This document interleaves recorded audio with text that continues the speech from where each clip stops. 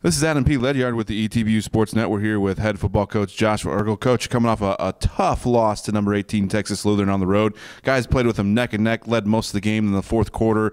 They had their comeback, and you guys fall by six on the road to Texas Lutheran. Just recap these this uh, uh, emotional game against uh, the Bulldogs. Yeah, you know, you, you never like to lose a football game, and uh, but I was really proud of the way our guys prepared. I think I gave us a chance to play with those guys last week. I, I, it's a day to day thing with us. If we if we practice well on Tuesday, Wednesday, and Thursday, and have good walkthroughs on Friday and Saturday morning, I can tell that I mean I can tell we're fixing to play good. And uh, last week went really really well as far as preparation.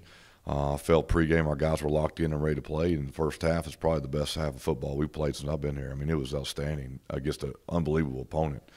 And um, and so so yeah, we, we lose the fourth quarter twenty six. Um, offense had three three and outs out of four possessions. Um, defense is allowing points, um, and special teams, our coverage units, we allowed them to have the ball three times on our side of the 50 with our coverage units. So it was really kind of, you know, a team collapse in the fourth quarter. So uh, this week we got the challenge to find a way to respond.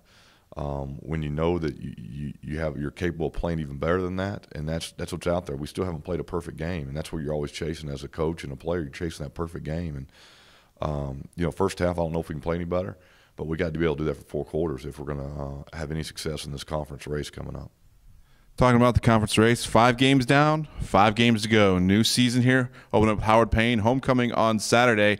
How's the team uh, preparing for this first conference game after they played five non-conference games? Well, you know, I'm re- as a coach, you know, I'm really hoping that our our non-conference slate that we put in front of them, which was pretty daunting, um, I'm hoping that pays off for us in conference. I'm hoping the level of competition they've seen uh, will be similar to our tough conference, and will prepare them for what's ahead of them. And, I feel like it will.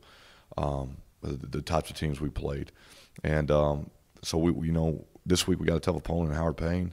Um, last year, you know, they completely destroyed us. I mean, they that that was the probably the worst game we played all year.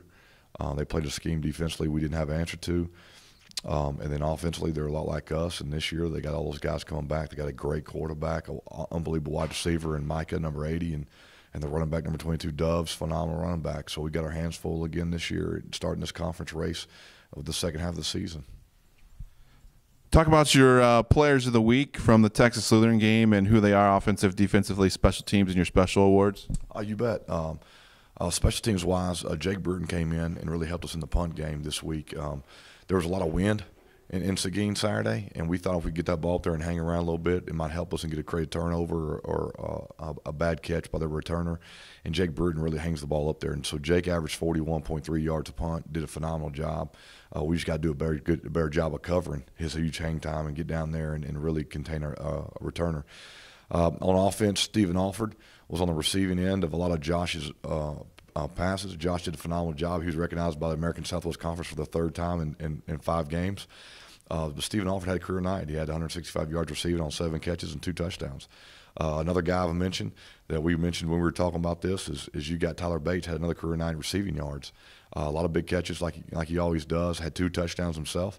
I think Kendall Roberson had a, had a career night. All right, out all those guys, we chose to recognize uh, Stephen Alford for his big performance. But you know, all that all that accolades and all those yards really comes and starts up front. And I felt I feel like the offensive line played really really well uh, for the most part of that game.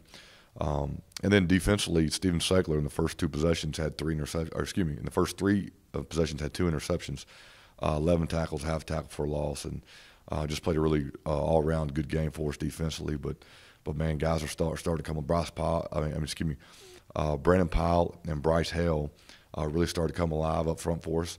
Um, you know, one of the interceptions, Desmond Oliver puts that puts that big old paw up in the air and batted the ball up in the air for Steven Segler to, to intercept it, and it felt like he had another good game. Uh, Kyle Bechter and, and Scott Majalid had a good game inside, are really trying to stop that run and contain that running back. And so I, I just feel like defensively we're coming on, um, and we're getting better every week. But uh, Steven Segler's our player of the week this week on defense. All right, Coach. Thanks for talking to us today on the ETBU Sportsnet.